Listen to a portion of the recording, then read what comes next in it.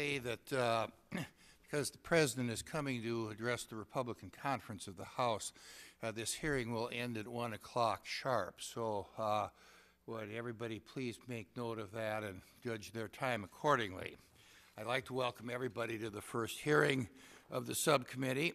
Acknowledge Ranking Member, gentleman from Virginia, Mr. Scott, and also welcome the full committee chair, Mr. Goodlatte. Uh, today's hearing will investigate, uh, will focus on how America investigates and prosecutes 21st century cyber threats. The United States has been the subject of the most coordinated and sustained computer attacks the world has ever seen. Rival nations, particularly China, have been invading corporate computer, computer systems and stealing intellectual property at an increasing rate. Spying between governments has always been a fact of life.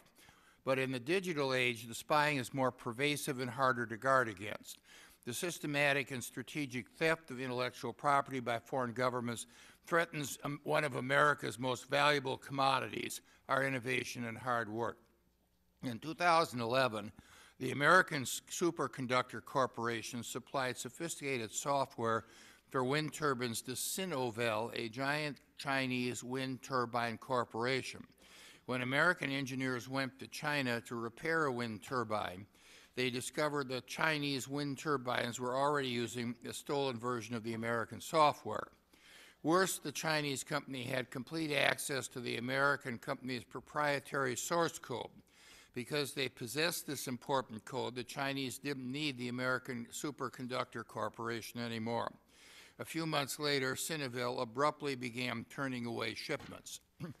On April 5, 2011, the American Superconductor Corporation had no choice but to announce that Sinovel, its biggest customer, accounting for more than two-thirds of the company's 315 million in revenue in 2010, had stopped making purchases. The result of the American, for the American company, investors fled, erasing 40 percent of the company's value in a single day than 84% of its value by September 2011. This week, the Obama administration has finally increased public pressure on Chinese cyber spying. On Monday, the President's National Security Advisor announced what the media has called the White House's most aggressive response to a series of military-style hacks of American corporations describing the problem as a key point of concern and discussion at all levels of government. Uh, Mr. Donilon said Beijing should take serious steps to investigate and put a stop to these activities. I agree. The fact that such mild comments have termed the administration's most aggressive ever may be part of the problem. When one country decides to advance its economy by stealing our intellectual property, we must do more than simply ask Beijing to investigate. Make no mistake, Sinovel stole hundreds of millions of dollars from the American Superconductor Corporation. This is a company that received over $20 million in stimulus money from the U.S. taxpayers. But far from demanding our $20 million back, the administration's strongest rebuke has been to ask that Beijing take serious steps to investigate. We simply cannot outsource the fight against cybercrime to international diplomacy. The theft of valuable intellectual property is a serious strategic threat to the American economy, and it must be treated as such by U.S. law enforcement. Congress has repeatedly addressed the issue of cybercrime. In 2000 or 1986, Congress implemented the Computer Fraud and Abuse Act as a tool for law enforcement to combat computer crimes. As computer crimes continue to evolve, so too has the CFAA, which Congress has amended eight times since its enactment. It may be time for Congress to augment and improve the CFAA and other criminal statutes to enable law enforcement to combat international criminal enterprises. The administration has taken initial steps to address the growing cyber threat. We applaud the administration for its efforts, but it remains to be seen whether these steps will actually work. Today, the committee will look at the criminal laws and investigative tools to combat cybercrime. We will determine what changes can be made to our criminal laws to more effectively combat and deter the cyber attacks we are enduring.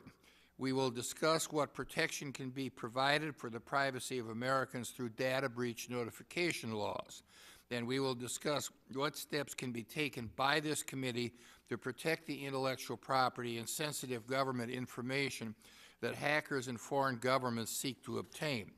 As we saw from China's cyber attack on Google and other companies, America's edge in innovation and technical superiority can be compromised by competing countries that make theft of intellectual property a national strategy. I look forward to hearing more about this issue and thank all of our witnesses for participating in today's hearing. It is now my pleasure to recognize for his opening statement the ranking member of the subcommittee, the gentleman from Virginia, Mr. Scott. Thank you, Mr. Chairman. Mr. Chairman, because of our growing reliance on the Internet and computer networks, I welcome today's hearing to examine the cyber threats we face and to discuss how we can better protect ourselves against them. This hearing comes at a time when there is a rise in the severity of cyber, cyber threats, and so an update of our computer crime statutes may have to be considered.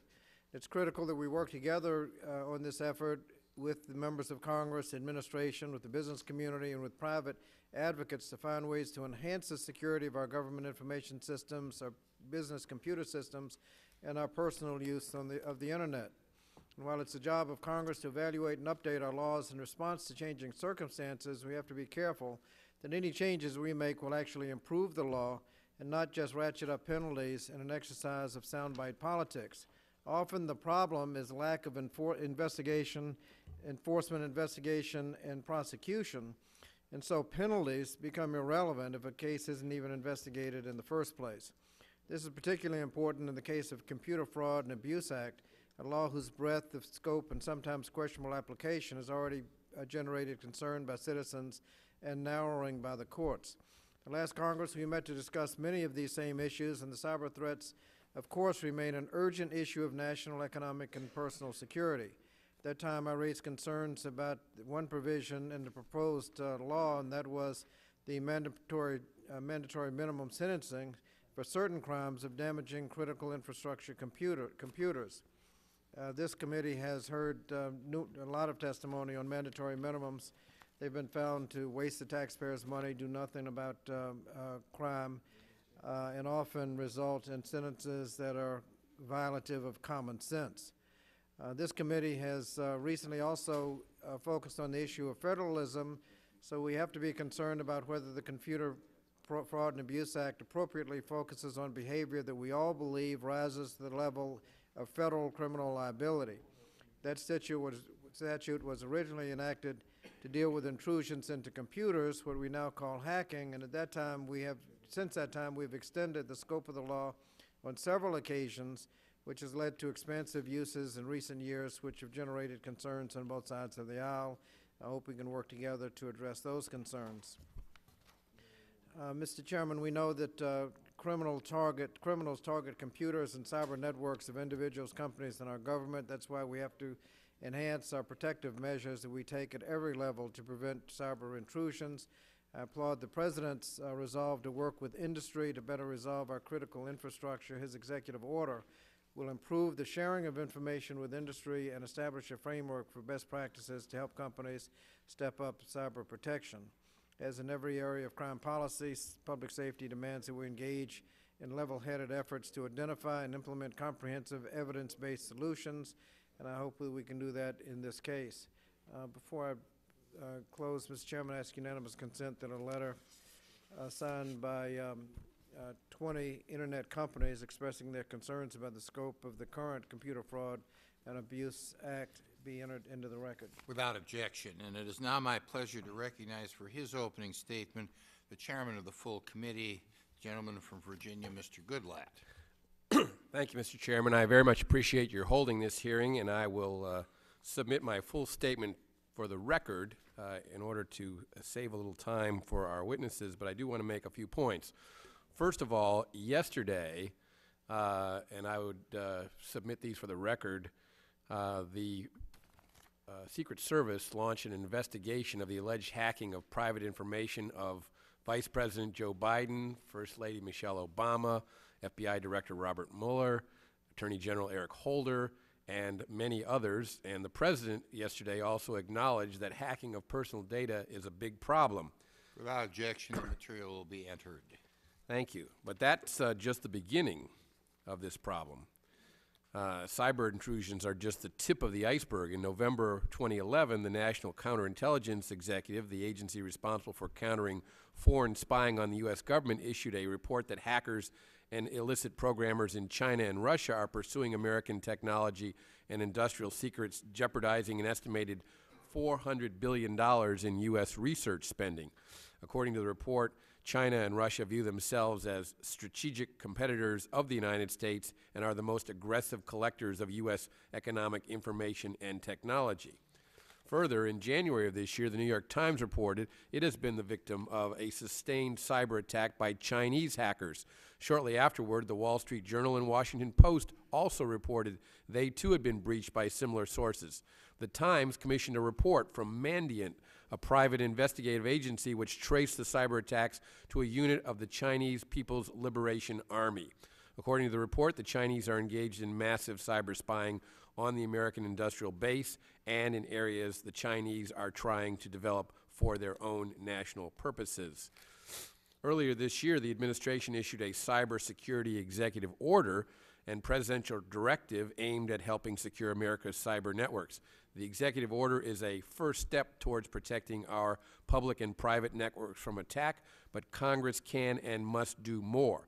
The Judiciary Committee is responsible for ensuring that our federal criminal laws keep pace with the ever-evolving cyber landscape. Our challenge is to create a legal structure that protects the invaluable government and private information that hackers seek to exploit while allowing the freedom of thought and expression that made this country great.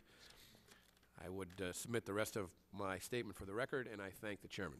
Without objection, the ranking member and chairman emeritus of the committee, the gentleman from Michigan, Mr. Conyers.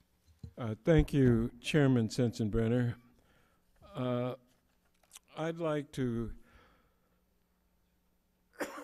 welcome the witnesses and uh, note that I am reintroducing today a bill that I introduced in 2012, July or August, the Cyber Privacy Fortification Act uh, which will create a strong standard for data breach notification, which doesn't exist now, and is a great reason for us uh, to be conducting this hearing. Uh, it requires a data breach activity to be uh, made uh, public, made uh, notified uh, to us so that we can uh, measure just what's going on. Cyber attacks have increased, according to the National Security Agency, by 44%. And uh, uh, many of these attacks are perpetuated or perpetrated by criminals operating uh, beyond our national boundaries, intent on stealing our intellectual property, assessing financial accounts, and compromising our, our critical uh, uh, infrastructure. And, and so we, we've got a problem here. And it's one that I, I think this committee is, is perfectly suited to handle.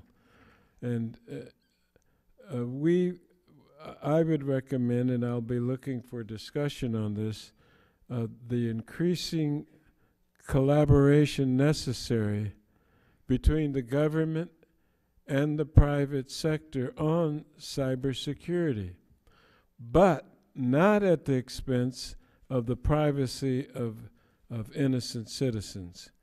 Uh, we must not toss aside existing privacy restrictions to grant the government and law enforcement unwarranted access to private communications. Uh, the, the administration and others have called for private sector companies to be allowed to share communications in their possession for the purpose of protecting against cyber threats. We must require that any additional sharing only be allowed to occur if information is removed that can be used to identify persons unrelated to the cybersecurity threat itself. And then in, in addressing a recent uh, cybersecurity conference, FBI Director Mueller emphasized that law enforcement focused need for this information is limited to threats and attacks, not other sensitive information about company secrets or customers. This must be the condition for enhancing collaboration between the government and the private sector to uh, better secure our computer networks. And finally, the internet has made the world a smaller place, and because cyber attacks are often launched outside of our borders, now more than ever, we need a diplomatic engagement to increase cooperation between nations on cybersecurity issues. In other words, diplomacy is going to have a larger role uh, in, in this activity. I submit the rest of my statement and I yield back to the chairman.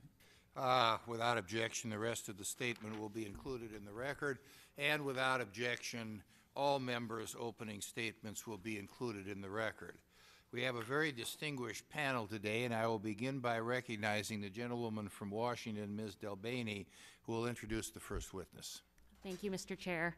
It's my pleasure to introduce Jenny Durkan. Uh, Ms. Durkan currently serves as the United States Attorney for the Western District of Washington, where my district is located.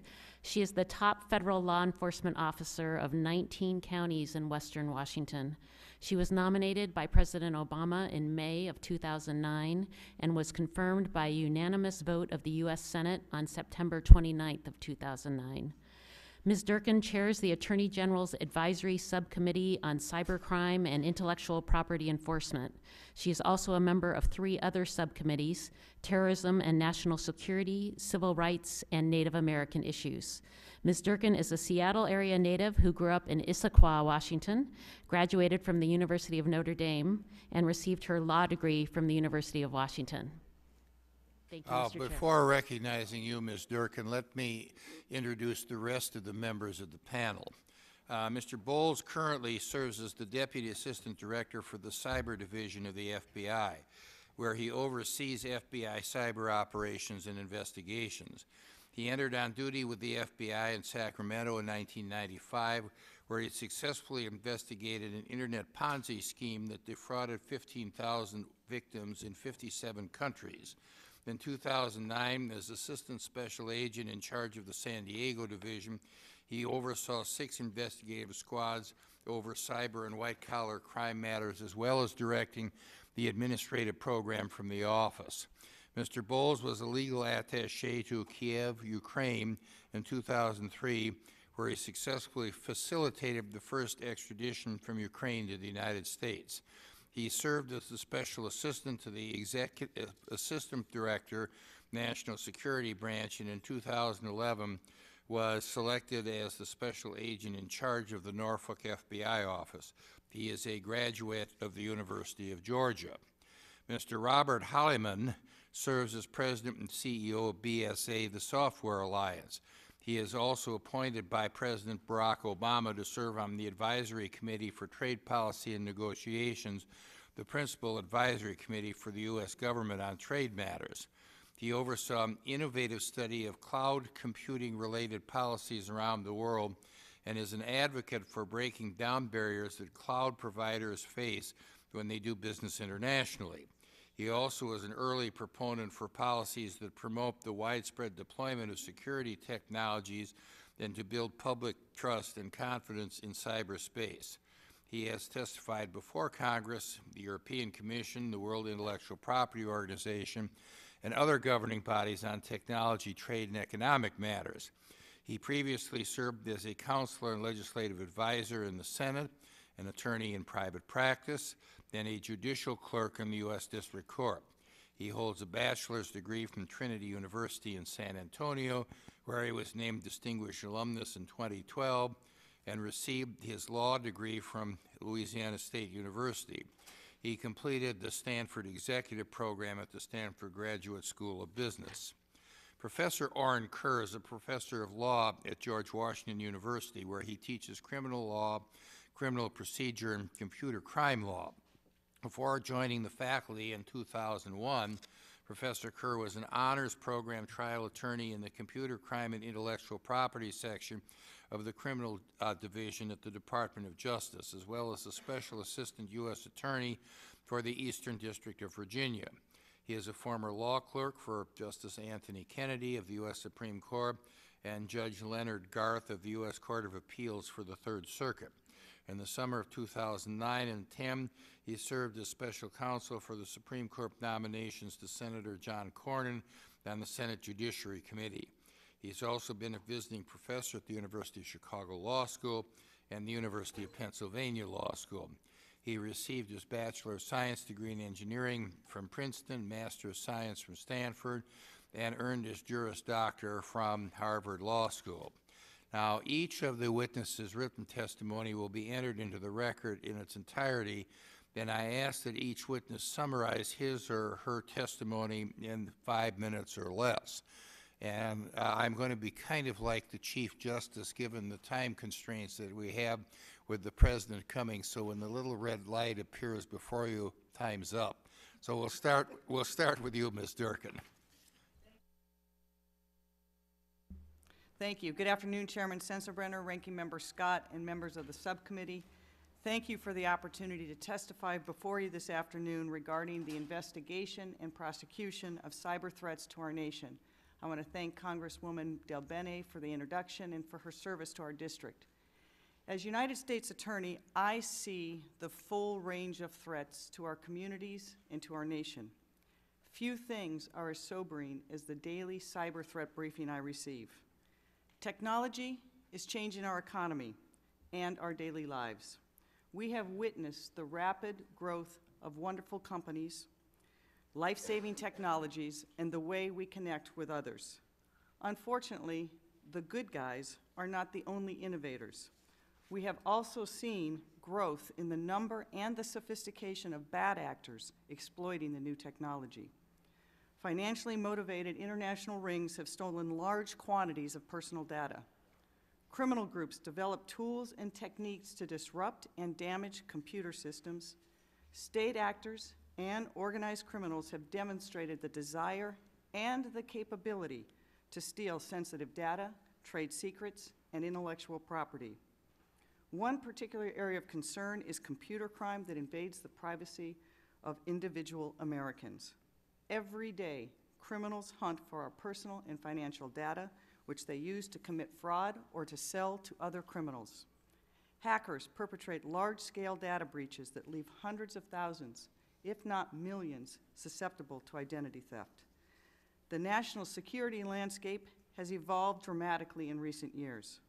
Although we have not yet experienced a devastating cyber attack against our critical infrastructure, we have been victim to a range of malicious cyber activities that siphon off valuable economic assets and threaten our nation's security. There can be no doubt.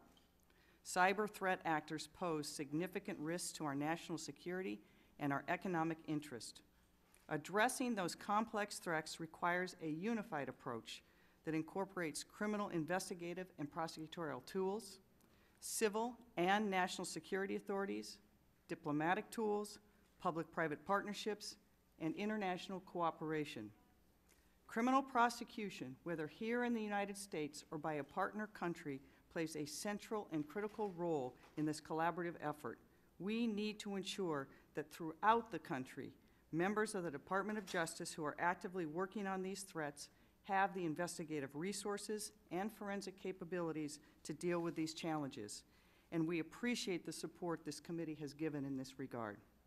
To meet these challenges, the department has organized itself to ensure that we are in a position to aggressively investigate and prosecute cybercrime wherever it occurs. The Criminal Division's Computer Crime and Intellectual Property section works with a nationwide network of over 300 Assistant United States Attorneys designated as our computer hacking and intellectual property prosecutors. They lead our efforts in this area. Similarly, the Department's National Security Division is organized to ensure that we are aggressively investigating national sec- security cyber threats through a variety of means. These include counterespionage and counterterrorism investigations and prosecutions. Recognizing the diversity of the national security cyber threats and the need for a coordinated approach, the Department established last year a National Security Cyber Specialist Network. It brings together the Department's full range of expertise on national security-related cyber matters, drawing on experts from the National Security Division, the Criminal Division, U.S. Attorney's offices, and other department components to make sure that we have a centralized resource for prosecutors and agents around the country. Our efforts have led to a number of enforcement successes, two of which I will highlight later, but I will say that in our district, we have been able to bring these prosecutions very successfully and have made a difference for our citizens and for our businesses. Thank you. Thank you very much, uh, Mr. Bowles. Morning, Chairman Sensenbrenner and distinguished members of the committee, uh, subcommittee. I appreciate the opportunity to be here today to talk to you about the cyber threat and how we are going about it with our partners to combat it.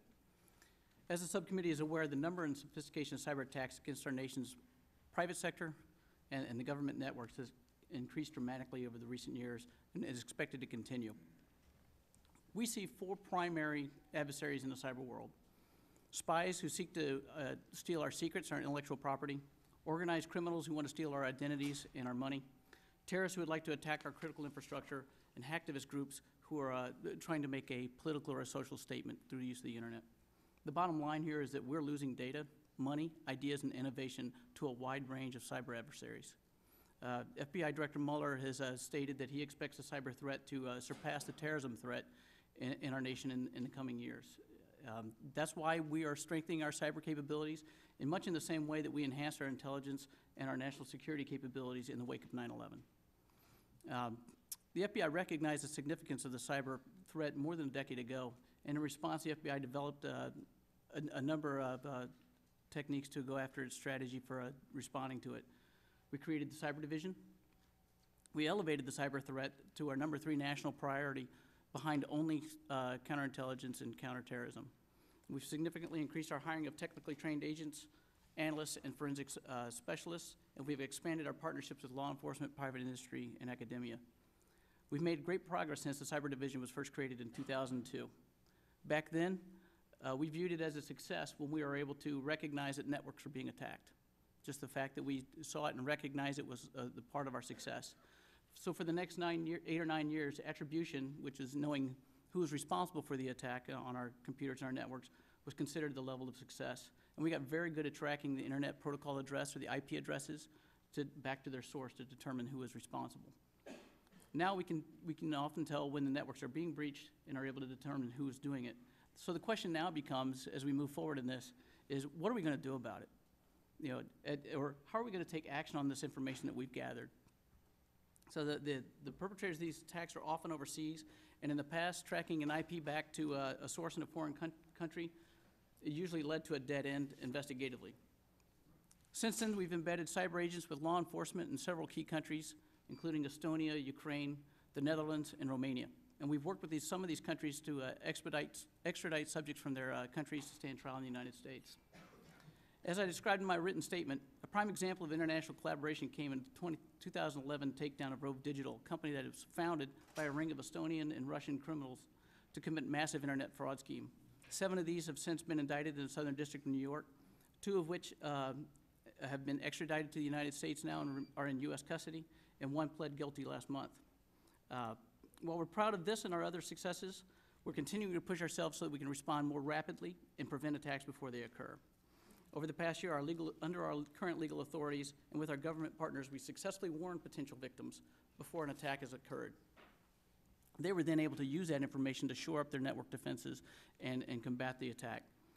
Uh, as we go into now, our next move here will be the next generation cyber, and these have all come apart as our initiative uh, to drive forward in the next gen. Next Gen Cyber entails a wide range of me- measures, including focusing the cyber division specifically on computer intrusion in networks, as opposed to crimes committed with computers being a modality. Hiring additional computer scientists to assist with the technical investigations the FBI field offices, and expanding our partnerships and collaboration with the National Cyber Investigative Joint Task Force, or the NCIJTF. Briefly, the NCIJTF is a, uh, a compendium of 19 agencies who uh, work together uh, in a collaborative and information sharing uh, environment so that we can almost in real time share information back and forth across a, the cyber threat. So the next step of that, of course, is our private sector outreach. We consider that as a- important and as our next step for our whole of government team approach to combating cybercrime. Uh, we've reached into the, into the industry, developed expertise with them, and are sharing as rapidly as, uh, in unseen rates than we've seen in the past. We now realize that the information flow must go both ways, where in the past, we've taken information and not necessarily given them back act, uh, actionable intelligence. We have now rectified that, and in developing our partnership, we're able to, uh, to make that information flow go in both directions. So in conclusion, Mr. Chairman, to counter the threats that we face, we're engaging in an unprecedented level of co- uh, collaboration within the U.S. government, with the private sector, and with international law enforcement.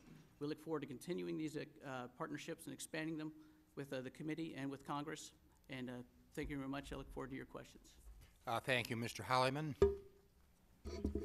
Mr. Chairman, Ranking Member Scott, members of the subcommittee, there are more than 400 million strains of malicious computer code in the world today, and their most frequent targets are here in the United States. And this costs American citizens and businesses well over $100 billion a year, and the losses are mounting.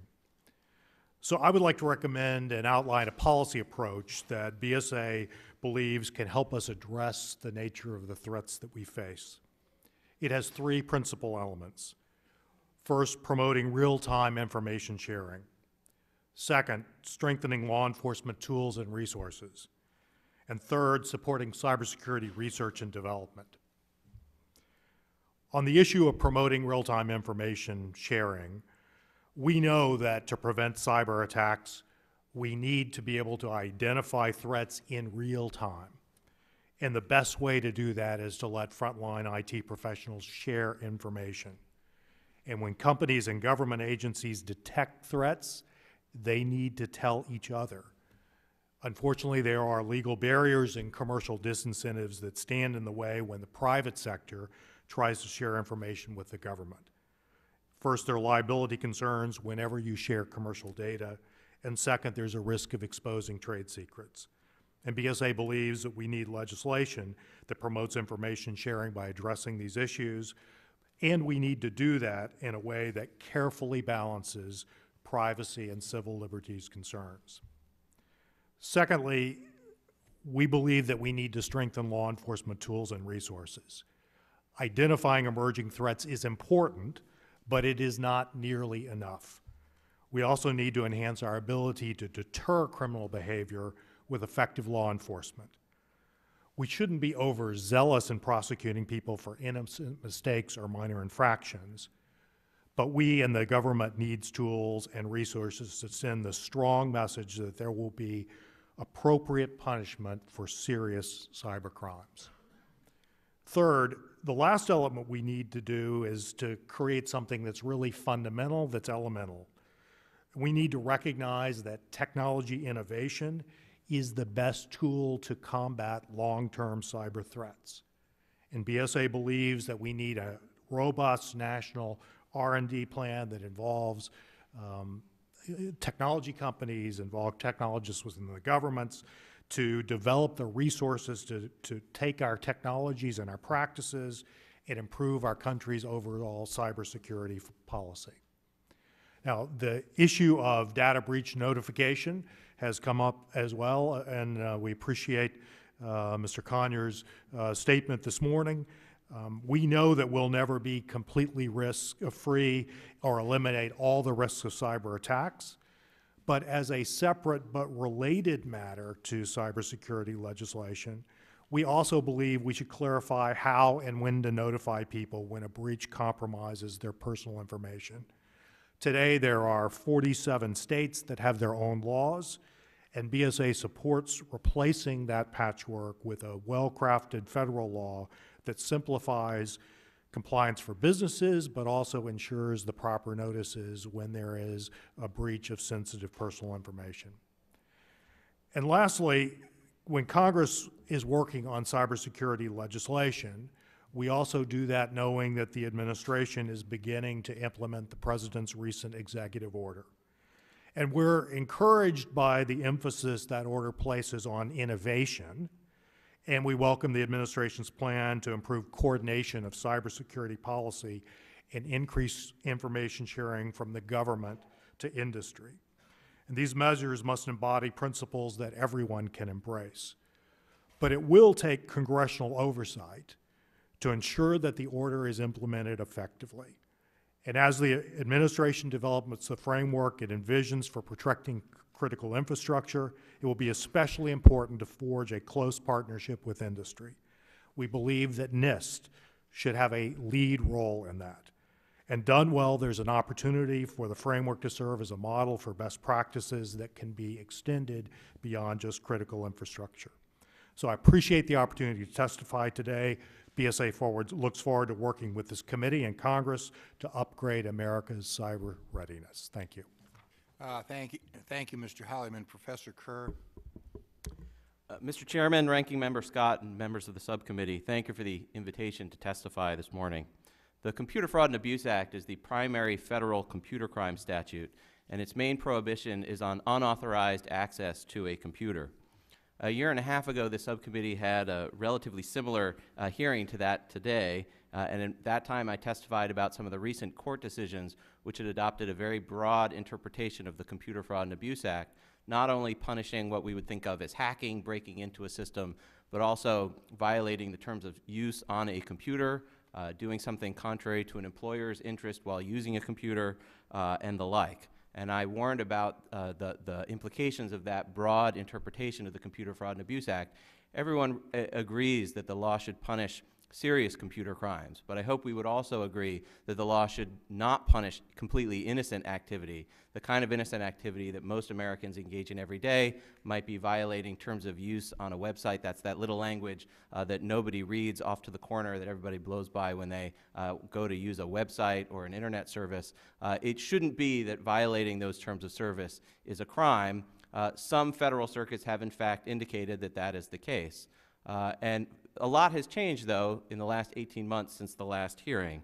Uh, in the Ninth Circuit, the en banc uh, Ninth Circuit in United States versus Nosal uh, concluded that the Computer Fraud and Abuse Act does not apply to breach of employer restrictions on access to a computer and is relegated only to c- sort of classic breaking into a machine, uh, what we might call hacking, or we think of as hacking, uh, what the court called uh, circumventing a technological access barrier. Uh, also in 2012, the Fourth Circuit decided a case concluding that an employee that acts in a way disloyal to an employer while using the employer's network is not violating the Computer Fraud and Abuse Act, uh, creating disagreement between the decision of the Fourth Circuit and another decision of the Seventh Circuit, which had indicated that that would be a federal crime. So right now, the state of the law in the lower courts interpreting this critical phrase of this critical statute, the Computer Fraud and Abuse Act, is essentially in disarray. There's uh, circuits that are all over the map in terms of just figuring out uh, what this prohibition means. What is this statute that's been on the books uh, for 25 uh, years? Uh, so I think this committee basically has two choices. Uh, one is to do nothing and let the Supreme Court figure it out. Uh, there's a circuit split. That means usually the Supreme Court at some point will step in and resolve the uncertainty and either pick the narrow view of the statute or the broad view of the statute or, or something in between. Uh, or Congress could act and actually clarify uh, which interpretation of the statute is the right one. I think this uh, Congress should act. Uh, this is a question ultimately of what Congress wants to prohibit, uh, and I think the best approach is for Congress to enact the narrow view of the Computer Fraud and Abuse Act, essentially codifying the rule of the Ninth Circuit, United States versus Nosal, that what this statute does is prohibit breaking into a computer. Uh, we're, not, we're, we're not meeting here because we're worried about individuals breaching terms of service. We're not worried about uh, uh, employees of companies uh, checking Facebook on company time. We're worried about people hacking into critical infrastructure uh, uh, people uh, accessing United States secrets that are stored on computers from abroad. Uh, those are problems which would be uh, uh, prosecuted and, and criminalized under any interpretation of the Computer Fraud and Abuse Act. But I think it's essential that Congress narrow the statute and expressly adopt this narrow view rather than just wait for the Supreme Court to try to figure it out. Uh, we don't know what would happen if the Supreme Court took this case, uh, and in all likelihood, no matter what the Supreme Court would do, we'd probably be back here to try to figure out what the laws should look like, because there are hard cases to be dealt with on either side. Uh, uh, in particular, imagine the Supreme Court adopts the narrow view of the statute and says that the Computer Fraud and Abuse Act uh, only prohibits classic hacking into a network. In that case, there's uh, the problem of insiders that uh, take access from, they're, they're given access to the network, uh, but they essentially steal secrets and then uh, send them to somebody else or use them uh, uh, in some nefarious way or maybe give them to a foreign government. We, of course, need to make sure that that's prohibited as well. Uh, and there are statutory authorities that can do that. For example, the theft of trade secret statute is available in those situations. But also, we could amend the Interstate Transportation of Stolen Property Act, which is used uh, to deal with the uh, transferring of stolen property in the case of physical property. Uh, the Justice Department has tried unsuccessfully to use that statute to prosecute uh, stolen information. Uh, the Second Circuit has said that's not a fair interpretation of the statute, and that could be amended to make sure the insider threat is dealt with. Uh, thank you. I look forward to your questions. Uh, Thank you very much. Because of the time constraints, the chair will withhold his questions until the end if there's time remaining, and the chair recognizes the gentleman from Arizona, Mr. Franks, to start the questions. Well, thank you, Mr. Chairman, and thank all of you for being here today. Uh, I don't envy your uh, jobs. Uh, It's uh, difficult when you're trying to marry uh, highly esoteric technological uh, issues with uh, very precise uh, legal enforcement and prosecution issues, so I, I, it's a difficult challenge. And uh, it so happens that I'm new on this committee, so my primary uh, familiarity with cybersecurity issues is on the Strategic Forces Committee, where it's, there's a national security component, and of course, it is a, it is an issue of the first magnitude. So my first question is to you, Mr. Bowles.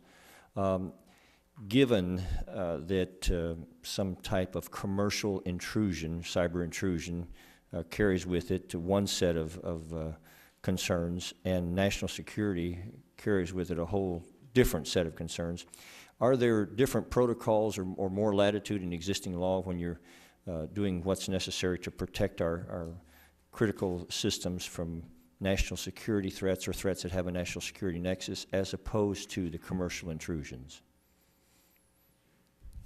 Thanks, sir. That leads right into, I, I spoke briefly about the Next Generation Cyber Initiative, and one of the things that we've seen in the change, that we've implemented in the, in the change of that initiative is putting all tools in the toolbox. We recognize that uh, in the cyber world, crimes are essentially without borders, as, as, as one of the gentlemen said, that uh, the world has gotten smaller. Crimes without borders, and it's, it's often difficult to tell at the outset, is it criminal or is it nationally, uh, national security oriented?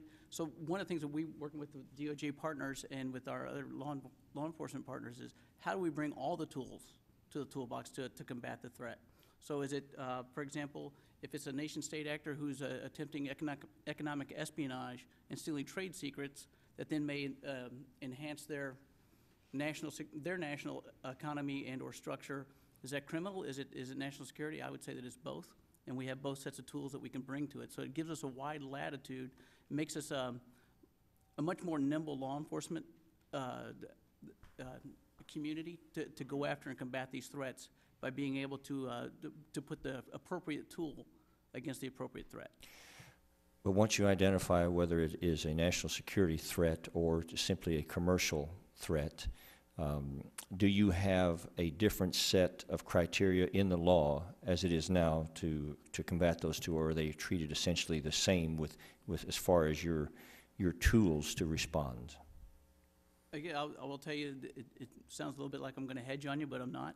The, the, the fact of the matter is that by having both sets of tools in the toolbox, we've kind of melded the tool, pro, two protocols together. So what that means is, uh, let's say, for example, we determine that is in fact a straight national security, uh, you know, intrusion or, or theft. You know, how can we go about disrupting that? The, part of the Next Generation Cyber, uh, initiative is to identify the hands on the keyboard, you know, the skin behind the screen, and how do we go after them and disrupt that? So is that through criminal prosecution? Is that through working with our uh, intelligence partners and our foreign partners overseas to disrupt in other manner, uh, or shutting off access? There, are, it's a multitude of uh, options that are open to us by doing that. So I would tell you that the protocols, by going to the all tools uh, approach, actually gives us access to both protocols through the entirety of the investigation. What, um, what would you suggest to this committee was, uh, if we were to apportion our concern for each of those two things I mentioned, commercial intrusion as opposed to those threats that have a national security nexus? Um, when you identify these threats, what, what would you suggest would be the proportion? I mean, how, how, how much under attack from your point of view? You know, we're familiar with it in some of the, the security committees, but uh, from your point of view in the FBI, how, what, what uh, would you suggest is the state of the union here as far as our protection from national security cyber threats? Um, do you, do you, do you think that we're facing pretty significant challenges? We're absolutely facing significant challenges, uh, both Well, that was a leading question. Yes, it Uh, was. My, my, my, I'm, Thank you you know, I- I'm very familiar with just how serious they are in some ways, and, and um, I, I guess I'd like to put something on your radar. It's not really in the form of a question, but uh, I am concerned, and we're concerned on some of the security committees that, uh, uh, that in, intentional electromagnetic interference may someday be, or EMP may be our ultimate cybersecurity threat in terms of a national security uh, destructive to try to disrupt our systems. And I, I would hope that we would have that on the radar. Uh, I realize that's a little ways down the road, but uh, perhaps not as far as it should be.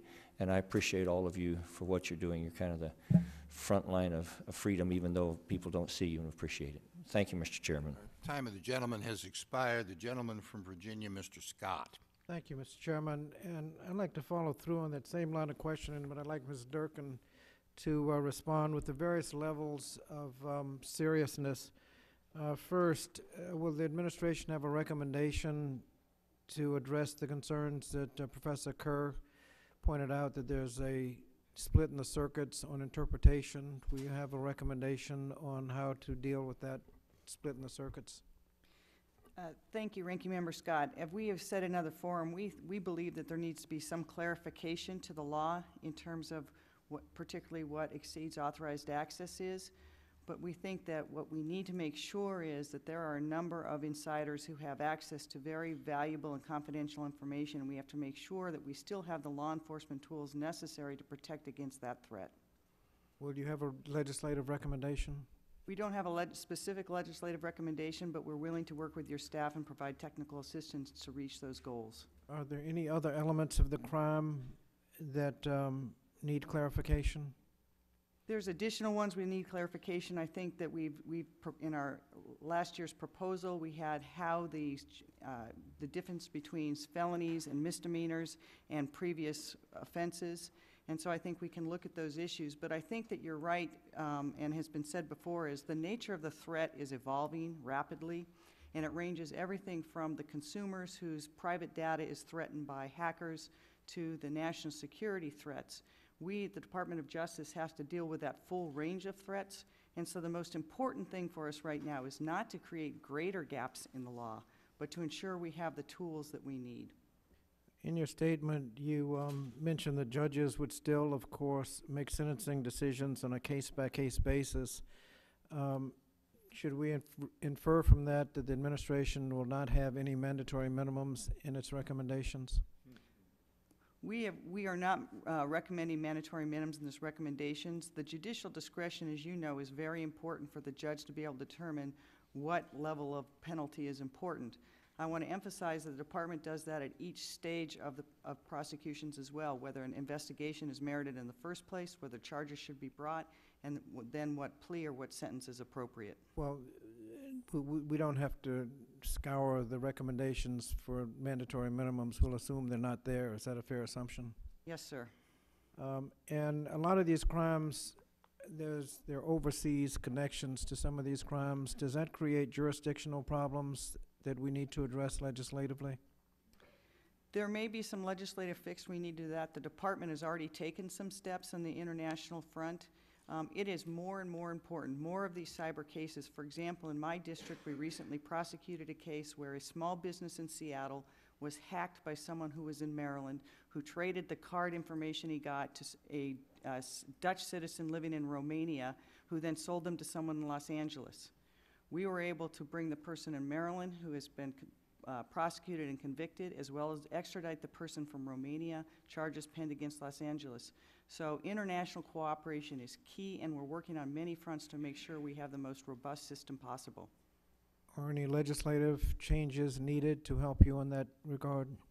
There may be some. There was one proposal that we had uh, that was approved in the previous budget that gave us additional resources abroad, what we call our I-CHIPs, our international cyber prosecutors, who can assist our foreign partners to make sure that we gather the evidence we need to bring the people and extradite them to America. Well, that brings me to the next question. A lot of this is resources and investigation. You've got the things in the statute. It's just a matter of priorities. This committee has looked at uh, things like ID theft, where the consumer ID theft cases are not brought because you just don't have the resources. Organized retail theft, where those cases aren't investigated because of resources. We're finding, and uh, somebody fails a background check on a on a gun purchase, nothing is done because you don't have the resources. I guess, Mr. Bowles, uh, if you focus more on cybercrime, do you have enough resources to do the other things you need to do? And as part of that, what effect will the sequester have on your ability to continue doing your work?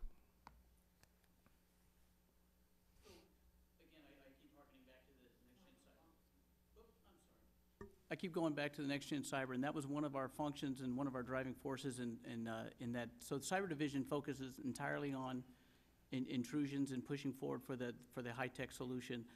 But part of that was that, uh, we've also added in, um, impact and, and, uh, emphasis on the, the traditional cyber.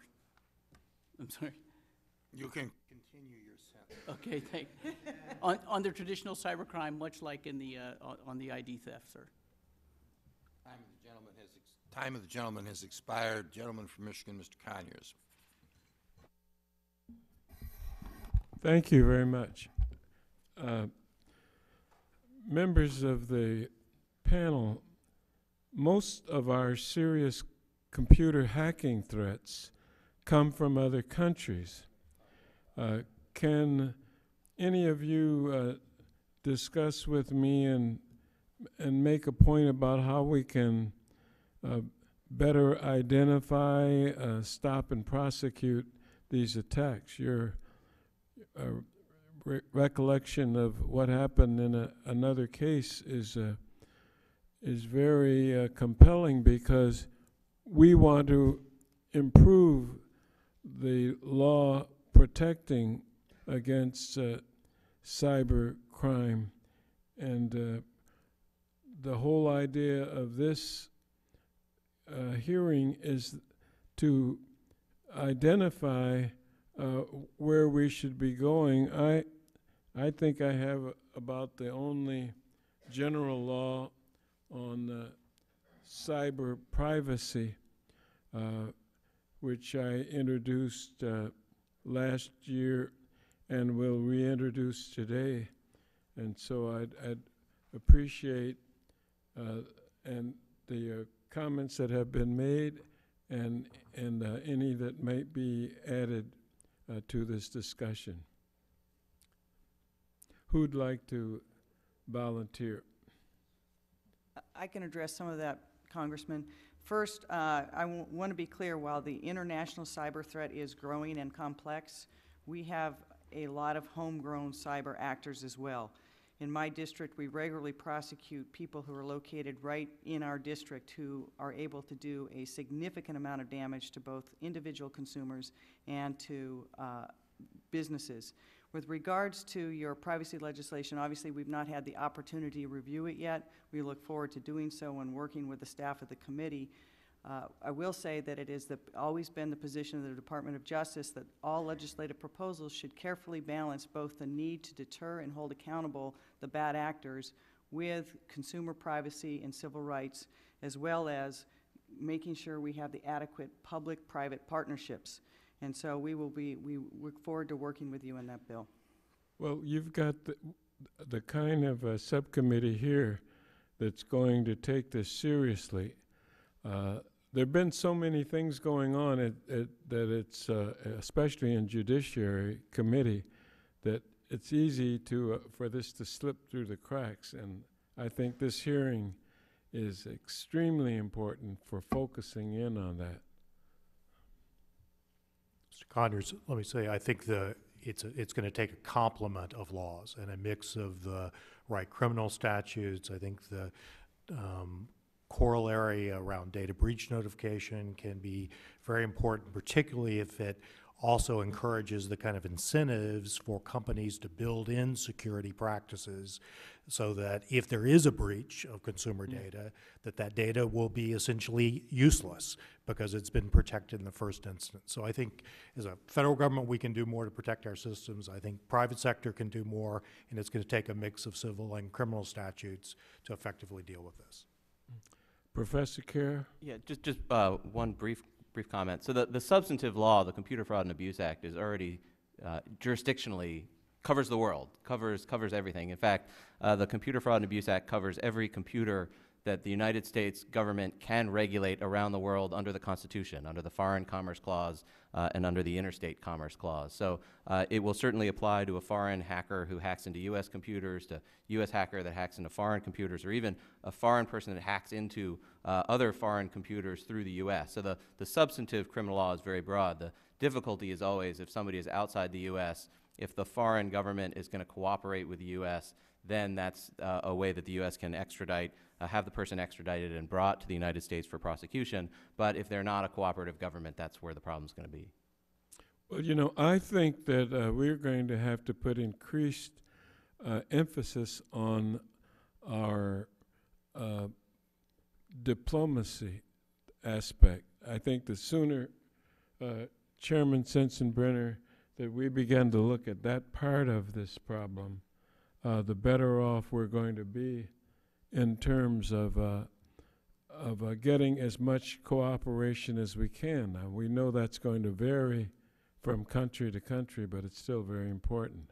Uh, The time of the gentleman has expired, and I, I agree with the last point that the gentleman from Michigan has made, since the uh, internet is completely internationalized and knows no boundaries, uh, either for doing good or for breaking the law. Gentleman from Texas, Mr. Gohmert.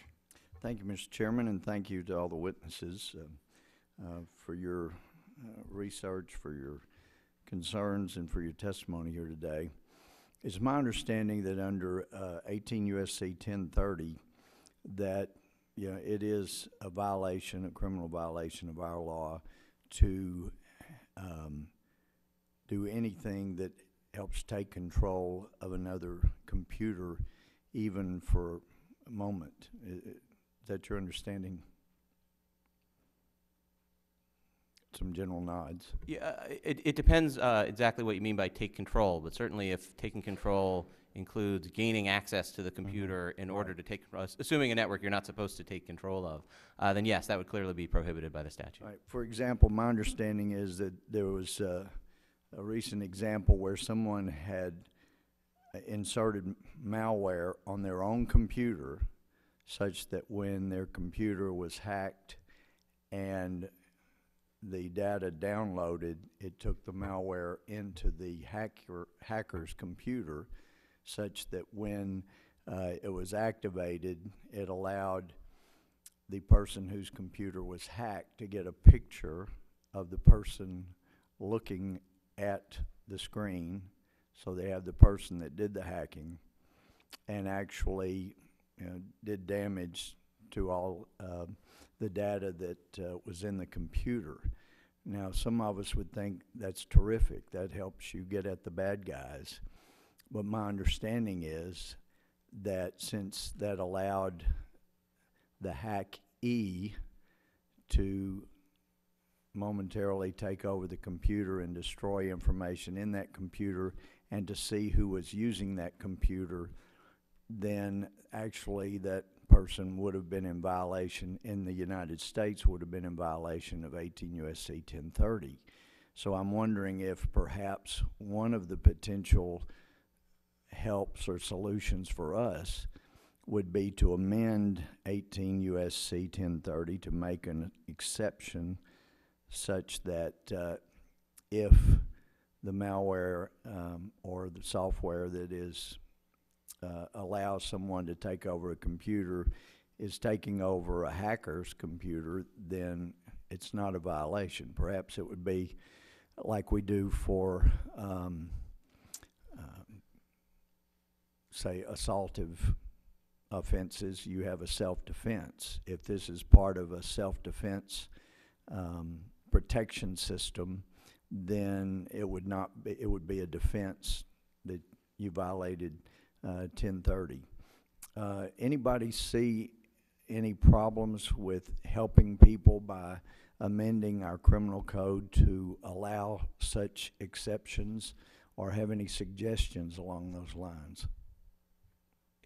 Uh, Mr. Gohmert, I think it's a great, uh, it's a great question and one that's uh, very much debated in computer security circles because from what I hear, there is a lot of this sort of hacking back, as they refer to it. Uh, but at least under current law, it is mostly illegal to, to do that. Uh, there is a limited necessity defense that some courts have recognized to say basically if you're a victim of a crime, you have a certain amount of ability to act to try to stop that crime, but it's not really clear how the necessity defense as it's recognized in current federal law would apply in those circumstances. I, I, think the idea of saying there's some ability to uh, counter hack, hack back, however you want to describe it, uh, is is a sound one. The, the real difficulties in the in the details of how do you do it, in what circumstances do you allow somebody to uh, counter hack? How broadly are they allowed to counter hack? How far can they go? Uh, the difficulty, I think, is once you open that door as a matter of law, uh, it, it can be something that's difficult to cabin. So I think if there is such an exception, it should be a quite narrow one to avoid it from sort of becoming the exception that swallows the rule. Well, I'm not sure that I would care if it destroyed a hacker's computer completely, uh, as long as it was confined to that hacker. Are, are you saying we need to afford the hacker protection so that we don't hurt him too bad? No, no, the difficulty is that you don't know who the hacker is. So it might be that you think the hacker is one person, but actually they're routing communication. Let's say you think you're being hacked from a French company or even a company in the United States. Oh, and it might be the United States government, and we don't want to hurt them if they're snooping on our people. Is that, uh, I don't, no, the, the I don't really understand why you're wanting to be protective of the hacker. The, the difficulty is first identifying who is the hacker. You don't know when somebody's in, intruding into your network who's behind it. So all you'll know is that there's an IP address that seems to go back to a specific computer. But, but you won't know who it is that's behind the attack. That's the difficulty. Uh, The time of the gentleman has expired. The gentleman from Louisiana, Mr. Richmond.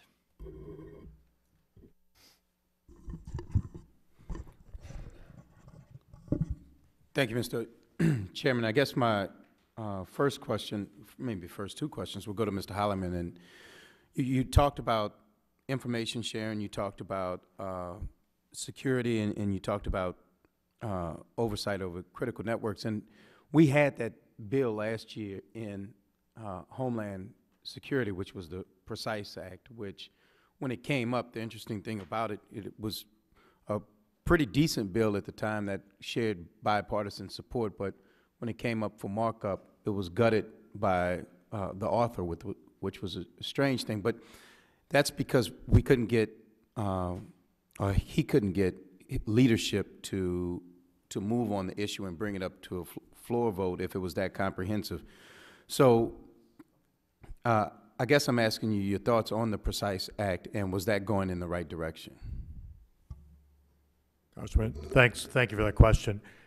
I know in the last Congress, there were a number of pieces of legislation that were considered, several of which were approved. Um, we believe it's important for Congress to supplement what the president did in his executive order with not only the oversight, but with additional legislation.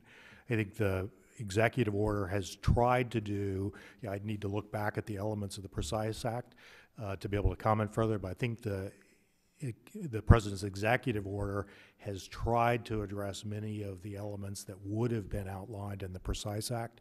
So whether or not that act would be needed at this point in time, I can't comment on. I'd be happy to look at that for the record. Uh, If anyone else wanted to comment on it, that's fine. Uh, My, my next question would be, you mentioned uh, one of the elements and one of the things we should be doing is continuing or creating a robust uh, R and D for cybersecurity. And I guess my question would be, would that be in the term of maybe an R and D tax credit, or are you thinking of something like uh, NIH and grants to uh, people who want to do that type of research for cybersecurity? Well, I think there are really three elements of it. Um, one is that we don't have enough students who are being trained as professionals to be able to work in cybersecurity for the future, and that's a problem for the private sector and for the government. Uh, so we need to have the right education and the right training. Secondly, I think we need the right cooperative agree- agreements between private sector and government to allow that research to happen, including with university research. And certainly, finally, there is research that goes on at the federal government about the level and the nature and evolving threats. And that research needs to be uh, properly funded and there needs to be proper oversight. So I think it takes all three of those. And I guess I have a third question for you, and I think that, uh, and on Mr. Kerr, uh, I think that um, Ms. Durkan and Mr. Demers will probably uh, know the answer to, it, but part of it's from your organization standpoint and, and from your experience, the level of, of cooperation and information sharing and assistance that our uh, security agencies provide now, and, and sometimes we get the benefit of, of hearings that uh, are not public, but I'm interested in, in knowing from your perspective the interaction between the FBI, CIA, Department of Justice, and those in terms of helping uh, either avert or uh, on the back end find uh, the perpetrators. So how's that been for, with you all? Well, I'll start by saying I think the, the nature of that is, is critical, and we're certainly very good relationships. What we need is to be able to share more real-time threat information, not simply after the fact, but real-time threat information. That's part of what the president's tried to do in his executive order, and part of what we think Congress can supplement that would make it even um, easier and better for industry to share information with the government too. And, and I understand that the barriers for the industry. What's the biggest barrier, or if you want to do a comprehensive, what are the biggest barriers to doing it? Is it just permission and law uh, for real-time information sharing? Yeah, I, I think some of it is sort of the existing laws that, that, that private sector companies feel like they ha- they must and appropriately adhere to, which in some cases makes it difficult, if not impossible, to share real-time threat information. So you can only do something about it after the fact. Um, that's not in anyone's interest to do that, so we need the appropriate way to be able to share that uh, with the federal government. Mr. Chairman, in sake of time, I'll yield back. Time of the gentleman had expired. Gentlewoman from California, Ms. Chu. Thank you, Mr. Chair. I wanted to um, ask about uh, economic espionage and, and uh, the stealing of, of intellectual property, um, of trade secrets, customer lists, future plans, and contracts. And um, uh, Mr. Holleyman, I wanted to uh, to ask you. You, you said that um that Symantec uh, estimated that it lost uh, 110 billion dollars um, through e- economic espionage uh, and the stealing of IP uh, through these means. Um, what what do you think is the overall cost uh, to to the, the corporations that you represent? Well, that, the Symantec number came from their internet security threat report, and it really related to the total amount of losses. It wasn't sort of referring to, to their company losses. And so the figure of hundred and ten billion dollars of damages on consumers is what they cited. Um, I think that all of the data shows, and certainly the information that's being very public and that the chairman spoke of in his opening remarks, shows that the nature of the threat is increasing, and it's increasing substantially. Uh, McAfee, one of our members, estimated that it used to be that a new piece of malware was identified and put into action about every 15 minutes, and now they estimate it's one per second. So the pace at which this is occurring is huge. The consequence and losses are growing. Um, and this is exactly the kind of hearing this committee and other committees should be focused on because we're all in this together. And, and what is the private sector doing to minimize these intrusions and to protect intellectual property throughout all these layers?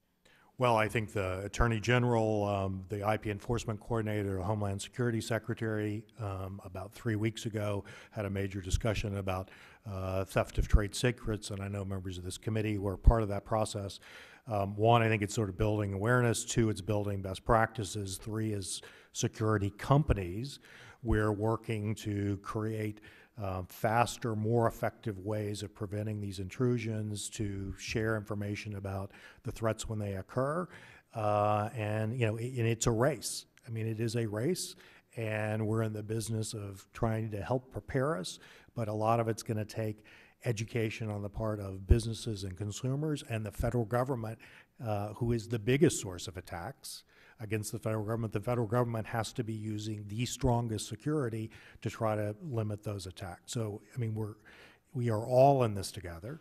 Our companies uh, want to do more things that particularly ensure small and medium enterprises and others build in security procedures so that if there are breaches of their information, and there will be from time to time, that that information is rendered useless, so that the hacker or the perpetrator can't do anything with it because it's been secured through encryption or other means. And those additional incentives will be helpful to a long-term solution. Um, I wanted to make sure law enforcement has the tools that it needs to, to prosecute these cases and investigate them. And uh, uh, Ms. Durkan and Mr. Bowles, I wanted to know, to know um, Ms. Durkan, uh, I know that the DOJ, DOJ leads vigorous prosecutions in cyber theft and economic espionage. I'm curious to know how frequently a case uh, regarding intellectual property appears in your caseload, and if you feel like you have the appropriate tools like training and funding to effectively prosecute these cases. Thank you. Um, it is a sig- very significant part of our district's work. We have some small mom-and-pop corporations like Boeing, Amazon, Microsoft, and the like, where the, the proprietary information, as the chairman said, is their most valuable commodity. So we consistently work with those corporations to make sure that we're getting the appropriate referrals. We have specially trained prosecutors. We will say we, we will always take more resources because the threat is evolving, but we appreciate the resources this committee has given to us. And Mr. Bowles, uh, do you have the adequate training and funding to carry on your investigations? Like my partner, Ms. Durkan said, we'll always take more. Uh, It's, it's important. It is a high-tech and evolving thing. Uh, And, and just to give you a feel for it, we, we currently have about 1,100 cases ongoing in the FBI that involve uh, intellectual property theft. And it cuts across all of our, our programs, whether it be cyber, counter, counterintelligence, and in traditional criminal. So it, it's, it's a wide-ranging need that we have, and it's part of our, our drive is to make sure that all the, uh, all the investigators and the analysts and the support folks have the training that they need uh, as we push that out and go forward in the computer world. But, uh, you know, that's a, that's a need that we constantly reassess and try to address.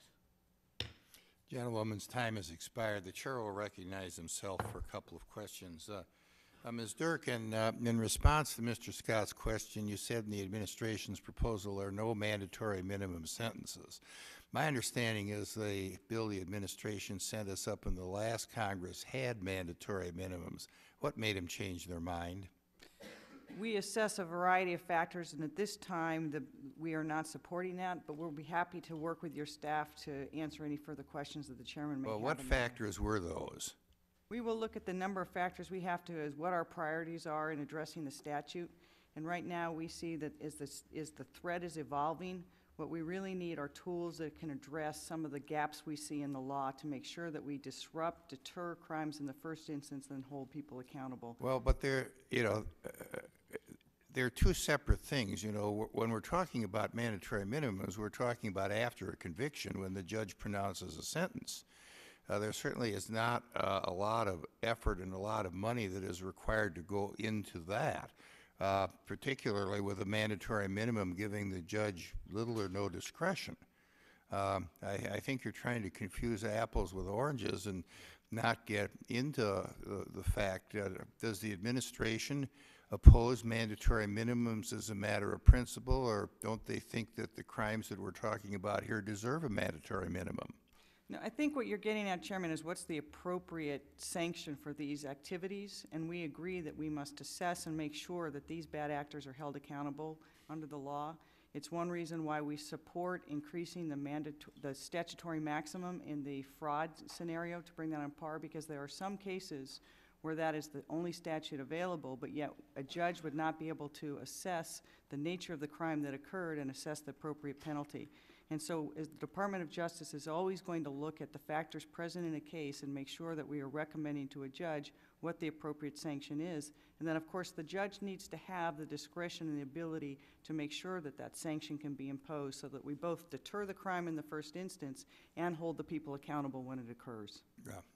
I, I think we are going to be talking about this issue a lot more as legislation is developed. Uh, I disagree with that conclusion, and uh, I do want to spend some time asking two questions of Professor Kerr.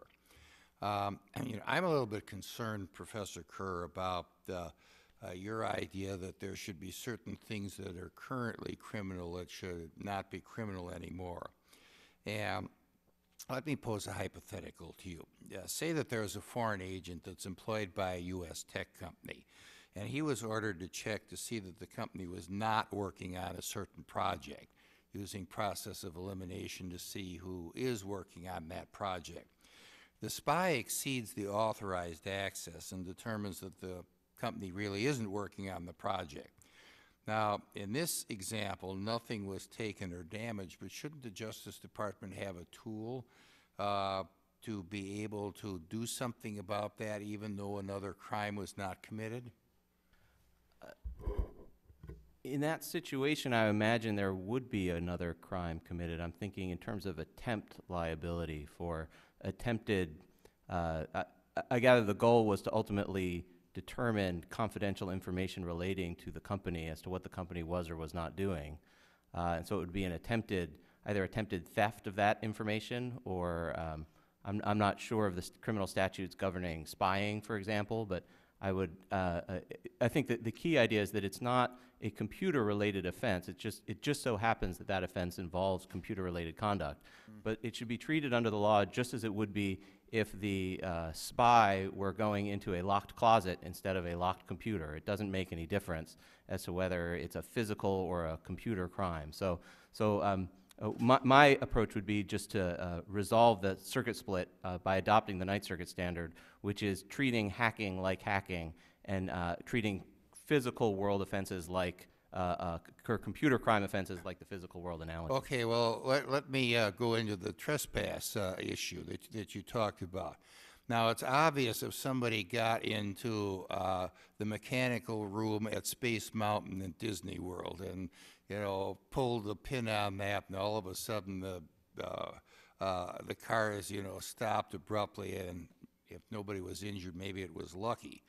But, you know, how about a cyber trespass that would have just as much damage? And that would be a violation of a term uh, of service. And shouldn't that be criminalized as well?